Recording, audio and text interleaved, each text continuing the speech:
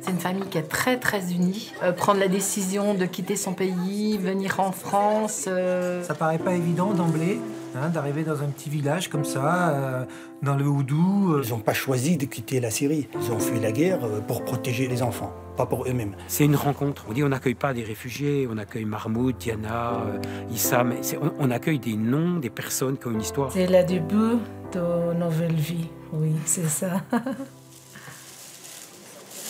Depuis trois mois, Issam travaille dans ce supermarché bio à Pontarlier. 35 heures par semaine, il se charge de mettre en rayon les produits. Pour l'aider, il peut compter sur ses collègues. Stéphanie l'accompagne depuis son arrivée. Ça se passe de mieux en mieux. Au début, c'était euh, un petit peu compliqué par le barrage de la Longue. Mais il prend euh, beaucoup d'initiatives, il est beaucoup plus indépendant qu'avant. Tout le monde est très gentil avec moi, toute la euh, collègue, patron Franck, très gentil, euh, aussi client. Je suis content, je travaille à Biocop. Avec la proximité de la Suisse, Franck, le gérant, peinait à embaucher. L'association qui soutient la famille les a mis en relation. Grâce à cet emploi, à 24 ans, Issam retrouve une certaine indépendance. On sent qu'à l'heure actuelle, oui, il y a, il est beaucoup plus épanoui, beaucoup moins timide, et que voilà, il, y a une dynamique qu'on ne ressentait pas au début. Ça a pris, je pense, aussi à l'équipe pas mal aussi l'entraide, à être plus attentif à l'autre, et, et, voilà, donc c'est euh, ça a encore, je pense, ressoudé un peu l'équipe. Avant d'arriver en France, Issam étudiait la comptabilité au Liban. Un parcours universitaire brutalement interrompu par leur départ.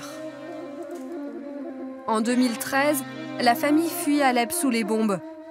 Ils vécurent pendant cinq ans à Tyr, au Liban. Là-bas, ils vont connaître les camps de réfugiés. Ils arriveront sur le sol français en janvier 2018. Un périple en toute sécurité grâce au couloir humanitaire, dispositif créé par des associations chrétiennes.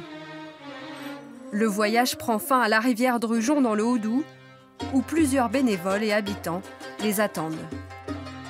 Chaque personne elle dit bienvenue en France. J'espère que c'était bien toute la famille en forme aussi. Oui, elle était une très belle journée.